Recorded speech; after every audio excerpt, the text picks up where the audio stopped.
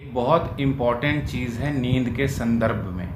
अगर आप रात को सोने से पहले नेगेटिव इमोशंस के बारे में सोचते हो, आप लोगों के बारे में बुरा सोच रहे हो या लोगों ने आपके साथ जो बुरा किया उसके बारे में सोच रहे हो, बिल्कुल नेगेटिविटी भर के दिमाग में सोते हो तो सुबह जब आप उठोगे तो वो भी नेगेटिव माइंडसेट के साथ ही उठोगे। ये एक रिसर्च के हिसाब से एक स्टडी हुई थी तो उन्होंने कन्फर्म किया है। आप जैसे रात को जिस इमोशंस को लेके सोते हो, जिस भी माइंडसेट के साथ सोते हो, अगर आप परेशान हो तो रात को परेशान होकर सोओगे।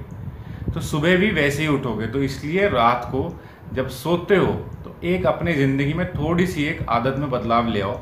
रात को सोने से पहले आप दिन में हुई पॉजिटिव चीज़ों के बारे में सोचो।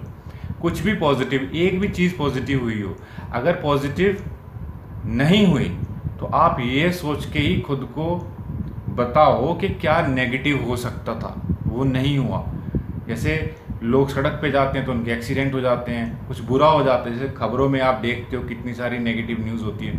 तो अगर आपकी लाइफ में कुछ पॉजिटिव नहीं हो रहा तो आप उस नेगेटिविटी जो नेगेटिव चीज़ें होती हैं, उस चीज़ के बारे में सोचो और खुद को अच्छा फील करो।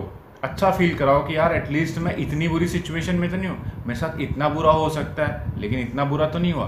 तो इस किस्म की ग्रेटिट्यूड जिसको थैंकफुलनेस भी बोलते हैं, ऐसी माइंडसेट के साथ आप जब रात को सोने जाओगे तो सुबह जब उठोगे तो आपका जो माइंडसेट होगा, आपका जो इमोशंस होगा, वो बहुत पॉजिटिव और बहुत क्लियर होगा।